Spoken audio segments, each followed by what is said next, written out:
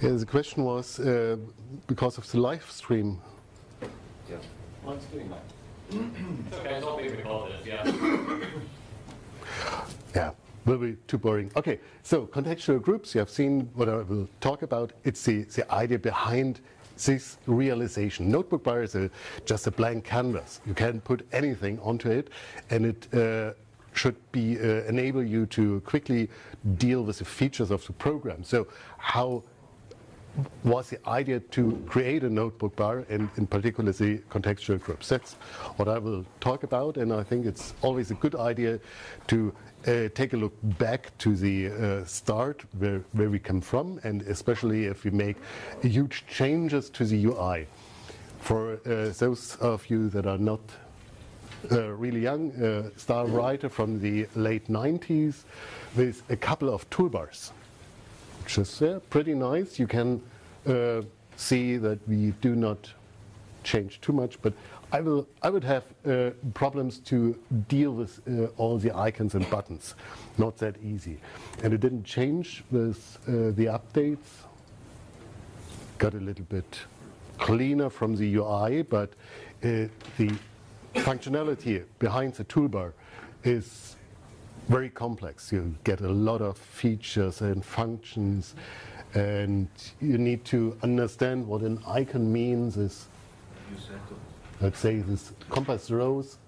I believe it's a navigator, but you have to know that there is a navigator to understand what a navigator icon means, and after that you can use this uh, control to uh, show it or not.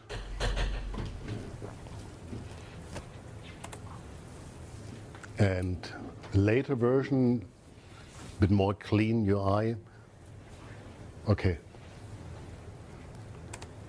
And with LibreOffice, uh, starting from uh, 3, 5, 4, and down there 5, um, we didn't change too much. To be honest, I uh, put the images onto the presentation to illustrate that our functionality grows and that we get more and uh, clutter the toolbar the opposite is true. We are working on a better UI. We do it for years, for more than 10 years, and it gets better and better. Uh, for instance, it is with the uh, two toolbars at top presenting uh, uh the, the, most uh, important information to the user, it's pretty clear. It's similar to other programs and you can use it easily. And um, with introduction of the sidebar, check it here in the lower part, um, we get more room in the uh, uh conventional toolbars. So it was, it is, is still a clean um, interface. And um, yes, failed for, for my side. So question remains, what is it good for? What, what are uh, toolbars good for? First of all, a toolbar is a quick access to frequently used uh, functions. Often uh, it is abused uh, for, uh, to present all the uh, features and awesomeness to the user. Um, I guess every one of you knows a program that is hard to use if you don't often start it and frequently use it because every function is cluttered in the toolbar. It's just a convenience feature for the experts, but it mustn't be. And especially for a uh, office suite like LibreOffice, which is uh, used for uh, many users, there has to be a, a, precise and clear concept behind it. So quickly uh, quick access to frequently used functions. That's the purpose of a toolbar. What I scribbled above, by the way, is an example. I will talk later about it. And um, it should illustrate the idea. Uh, it is filled with icons that you may know. You, of course, you can uh, figure out that a disk, second icon from the left, a disk is likely uh, um, a function to save the document. Um, we made number of uh, icon tests over the last years that shows that a disk is really a good indicator for save. But next to it, left, new. Uh, it's could be uh, something different, but it isn't because it's the leftmost icon. back to my notes. Um, increasing functionality, I talked about it. You have to trust the icon. Uh, the save icon is very clear and it's, uh, it's obvious what uh, happens there. But if you move icons around, and if you would uh, move the new icon from the leftmost position to somewhere else in the toolbar, no one would be able to find it because the new icon is not that striking clear. Uh, it is often called the muscle memory. You know where you have to click to find a certain function. Uh, all the clipboard stuff, undo, redo, left, right, not that clear always, but copy paste, it's, it's next to undo, redo. So it's kind of uh, positional information that you're using to figure out where a function is on the toolbar. And the most worst part of all these things is that a new user is um, required to learn all this stuff. He has to look at the toolbar, get the tool tips from it, and understand what it means to hmm, show icons like ah, this one. Or it's just a stupid example. Let's say this one. I wouldn't know. So what could you do to improve the usability facing all the issues? You could, of course, uh, remove functionality from the toolbar. Make it cleaner. It's a good approach. Um, I put the question mark onto it. I uh, think developers uh, are not so easy to convince to remove functionality from the toolbar. Okay, so let's try another option. Grouping. Grouping is always a good idea. Grouping makes it easy to quickly find uh, a chunk in, in, in the um, amount of information. Leftmost, kind of uh, file information. Um, the next one is about clipboard and so on.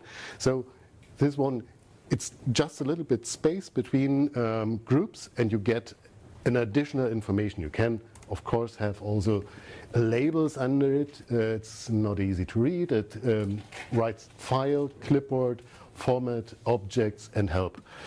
Just an example.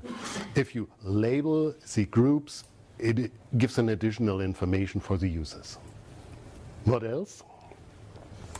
You can use labels for the functionality because at least me, I always struggle with undo redo. Is it really left to go back? Not so sure. If there is a label for this function, I'm absolutely clear. And if the style, this icon here, the uh, target, whatever it is, um, if there is a label style, you will know that it opens some menu for uh, applying a style to the uh, to the option. So at least the less often or uh, less well-known functions uh, should get a label. And finally, it's always a good idea to focus the user um, uh, attention to features that you want to uh, acknowledge to the user. So uh, it's just an example. The leftmost is new. You want to get the use, users are looking for new, so you make it a larger icon. Users should use styling features, so you make style icon larger. And of course, you can do the same for objects and perhaps also help if you want to draw the attention to these uh, features. And it works even better if you add some more information to it. If you add a modality like color in this case, or uh, add more uh, details to the icons, for instance. If you have a very plain icon theme and you add more details to the relevant icons, it pops out of the crowd of the other functions. Those features are possible. So what did we do? We put it onto a contextual groups. It's uh, because it's a simple um, canvas. You can uh, enlarge the icons within uh, the uh, restrictions that we have in LibreOffice. We have three different sizes. So icons on the toolbar are small sized, medium sized, and large sized in this case. And the large icons are the most relevant functions. I guess people are looking for save, for paste, which has also a uh, drop-down menu where you can get uh, paste uh, special and whatever option paste has. Style gets a big menu. You have, uh, I showed you in, in, in advance. Um, the idea is that we want to promote style rather than the direct formatting. And style should open the menu with all the styles, and uh, user can quickly change the appearing of a text rather than all the formatting options. And all the tools, um, the right part, this one, um, are hidden away a little bit because the idea is that our new user, uh, we call him Benjamin, this Benjamin would uh, likely just write a, a, simple text and he wants to make sure it is saved.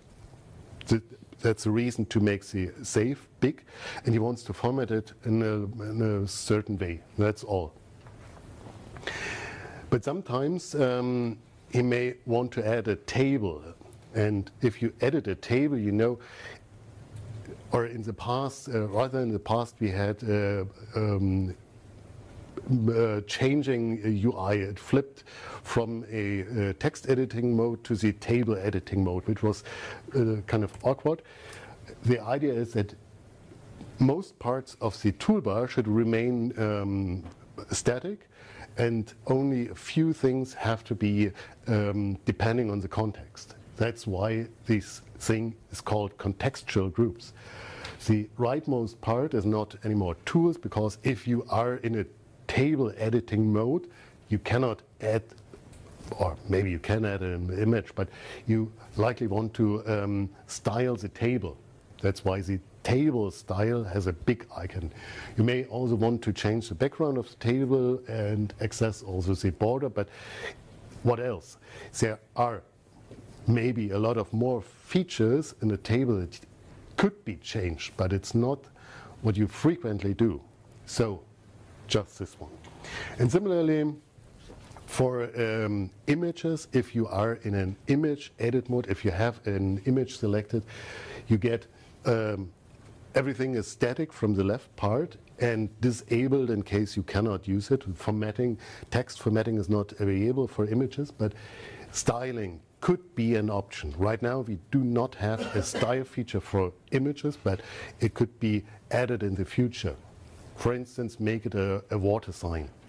I believe it's possible right now. Um, I'm uh, running a little bit out of time, so I'm going over it more quickly.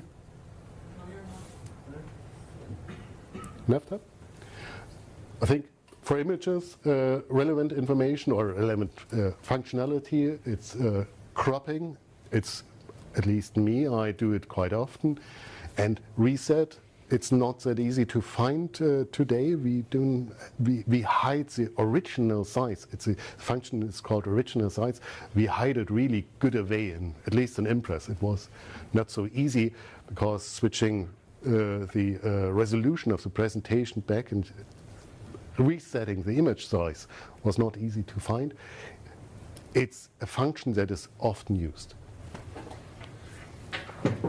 What else? Chart mode. Of course, if we are in a chart, we need to get some kind of styling feature which is on the same position. You can trust that a big icon on this position will present you with a kind of preset with something that enables you to quickly switch from one kind of visualization or modification to another one. And uh, the chart would, for instance, change from a bar chart to a scatter plot or a 3D chart, or whatever. And finally, with shapes, wasn't that easy to find relevant functions, but similar for this one. And this one is writer for writer. It was writer, how writer looks.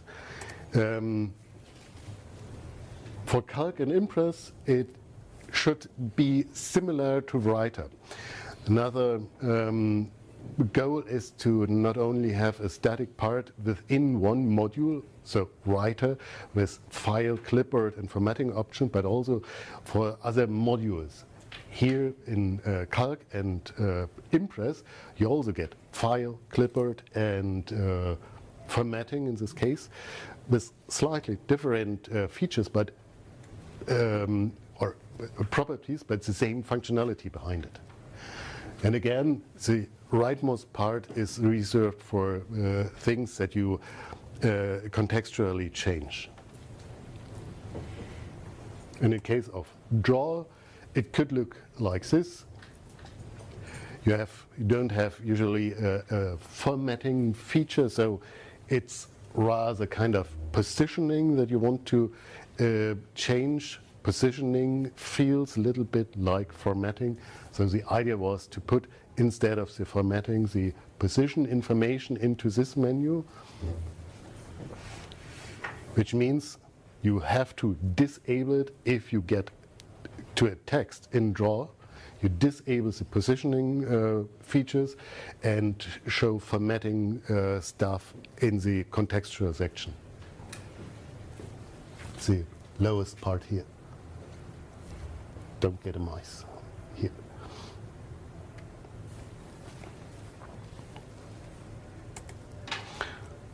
Okay, so my conclusion, um, the outlook for the future. We, of course, we need to fix all the bugs. Um, styles do not work really well. All the the ideas of functions are uh, not uh, implemented. The uh, aggregated functionality, for instance, of uh, manipulating images is not available right now. We have uh, bugs for the uh, when the um, size is shrinked normal toolbar gets a kind of chevron where uh, all the uh, remaining items are collected in the menu. We do not have it right now, or at least it's not really well working. Uh, but if everything is done, we need, of course, a better configurability. Right now, it's uh, it's a it's a technical way to deal with it. It's a UI file that you uh, change with Glade, and you do not have a good means to add your own uh, UI file. So it's a dirty hack, but you can you can change it, but it's very dirty. If that's all done, I think we need to muffinize the sidebar, meaning the sidebar uh, should also be uh, uh, get the freedom to uh, be configured by the user. And if I say configured by the user, I have something in mind like um, Mozilla is doing for the Firefox in a, in a customized mode, um, it should be kind of WYSIWYG configuration. You select the uno command and drag and drop it to the position where you want to get it. It has to be as simple as possible and in a, uh, in a way that's a challenge for us because um, in Mozilla you have 20 or so functions I get a few more because AdBlock is uh, it's an add-on. So we have hundreds of uh, functions that needs to be offered to the user, and the UI is more complex in this case. But I think it should be easy in a way that every user can configure his own uh, UI. Simply share it with other or download, for instance. So, and finally, all the kudos go to the developers. And you can read the whole story, background information on the blog. So, thank you.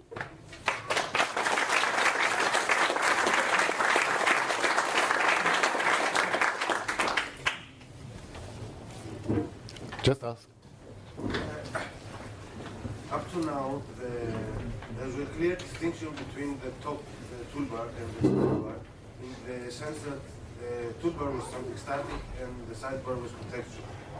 Uh, now, is there a clear vision of what should go to the sidebar and what should go